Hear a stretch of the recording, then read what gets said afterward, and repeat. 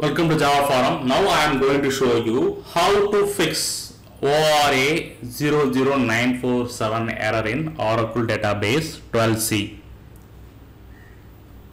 So I open the SQL Plus editor, logged in as a common user called c hash ascot which I already created. Make sure that you have enough permission to execute the SQL queries. Okay.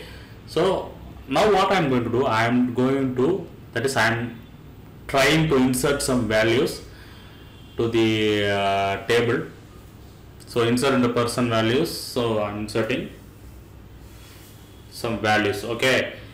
So it's throwing the error ORA 00947 not enough values which means that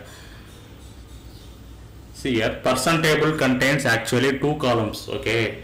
So now i am trying to insert uh, the value for only one column but uh, what is the problem is that insert statement is not a correct one. Okay? So uh, actual it provides two values.